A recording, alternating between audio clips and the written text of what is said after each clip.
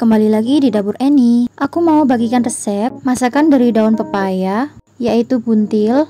Meskipun buntil di sini pakai daun pepaya, tapi sama sekali nggak pahit ya teman-teman. Ikutin langkah-langkah dari aku biar teman-teman bisa masak buntil yang enak dan nggak pahit. Langsung aja di sini aku mau kasih tahu resepnya. Yang pertama di sini aku mau siapkan daun pepayanya ya teman-teman. Untuk daun pepaya di sini aku mau menghilangkan rasa pahitnya dengan cara aku merebus terlebih dahulu. Untuk daun pepayanya di sini aku sengaja pakai yang tua. Biar kenapa? Karena aku cari daun pepaya yang lebar ya teman-teman. Kalau pakai daun pepaya yang lebar, Bungkus isian buntilnya itu nanti mudah teman-teman, jadi gak keluar ke mana-mana. Untuk merebus daun pepayanya cukup sebentar aja, jangan terlalu matang ya teman-teman. Cukup segini aja, jangan terlalu matang, bisa diangkat dan ditiriskan.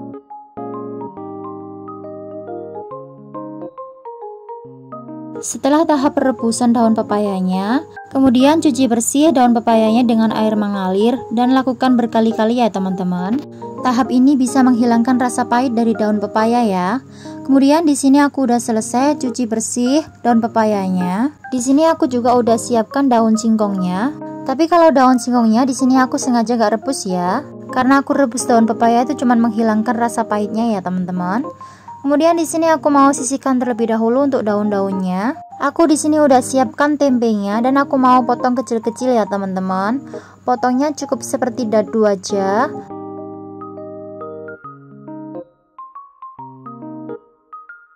Potong-potong tempenya udah selesai dan di sini aku mau sisihkan terlebih dahulu ya teman-teman. Untuk isian selanjutnya di sini aku ada udang 1 ons dan aku sisihkan terlebih dahulu. Dan isian selanjutnya di sini aku pakai daging. Untuk dagingnya di sini aku pakai 2 ons atau 200 gram. Aku potong dadu atau kecil-kecil seperti tempe tadi ya teman-teman.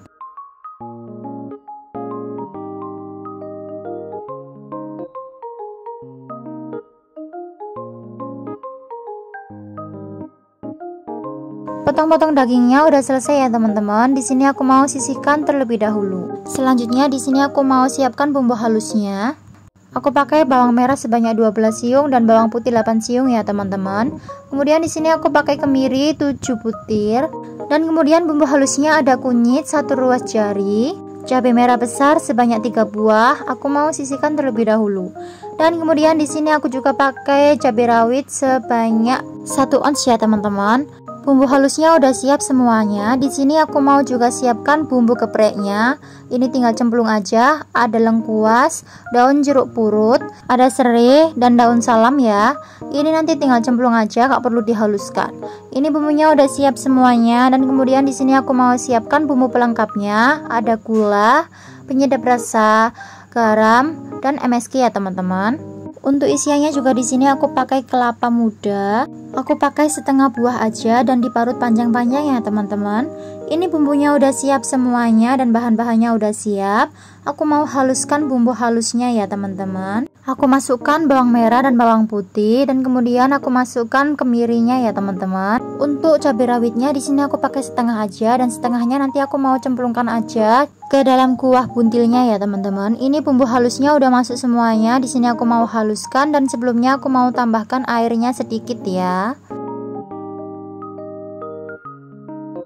Bumbu halusnya udah selesai dan sini aku mau tuangkan ke dalam kelapa parutnya ya. Ini untuk bumbunya aku pakai separuh aja dan separuhnya nanti aku mau buat kuahnya. Jadi separuh-separuh ya. Nggak semua langsung dimasukkan ke dalam kelapa parutnya.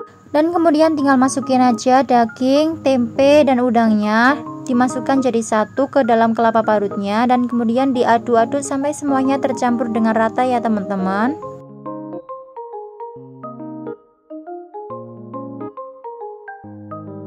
Jangan lupa masukkan garam, MSG, penyedap rasa dan gulanya ya teman-teman. Kemudian aduk rata lagi sampai semuanya tercampur dengan rata ya teman-teman. Ini udah selesai dan udah tercampur dengan rata. Ini siap untuk dibungkus ke dalam daun pepaya dan daun singkongnya. Sebelumnya aku udah siapin tali. Aku pakai tali rami. Teman-teman kalau nggak punya tali rami bisa pakai tali lavia ya. Setelah udah siap semuanya, di sini tinggal pembungkusan buntilnya ya teman-teman. Untuk cara bungkusnya buntilnya bisa dilihat di video. Untuk lapisan pertamanya di sini aku pakai daun pepaya dan kemudian aku kasih daun singkongnya di atas daun pepaya ya seperti ini. Dan kemudian tinggal kasih isiannya yang tadi. Ini udah siap, tinggal dilipet-lipet aja ya teman-teman.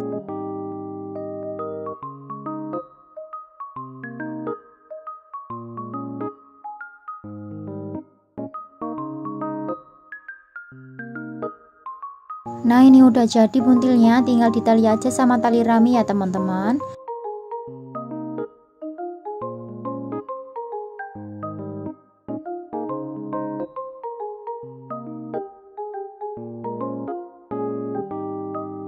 Seperti itu ya teman-teman cara bikin buntilnya.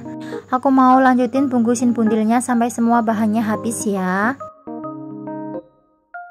di sini aku udah selesai bungkusin semua buntilnya dan jadi 10 buntil ya. Ini udah siap dan aku mau lanjut masaknya.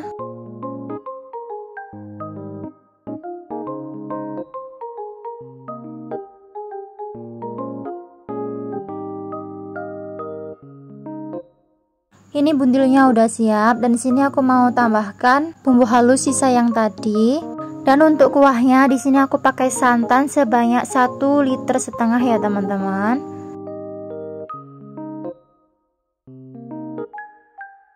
Masukkan bumbu gepreknya, lengkuas, daun jeruk, daun salam, dan serainya. Jangan lupa bumbu pelengkapnya, garam, MSG, penyedap rasa, gula, semuanya dimasukkan. Ternyata di sini aku santainya kurang ya teman-teman. Di sini aku tambahkan 1 liter lagi santainya. Ini udah selesai, tinggal nyalakan kompornya dan masak sampai matang.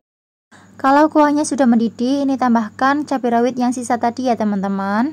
Ini udah selesai semuanya, tinggal nunggu matang aja dan siap untuk dihidangkan ya teman-teman. Setelah 30 menit proses perebusan, ini buntilnya udah matang ya teman-teman. Hasilnya seperti ini. Buntilnya udah jadi. Ini buntilnya cocok banget dimakan pakai nasi jagung atau nasi empok. Dengan cara masak yang seperti tadi, ini buntilnya sama sekali nggak pahit ya teman-teman meskipun pakai daun pepaya.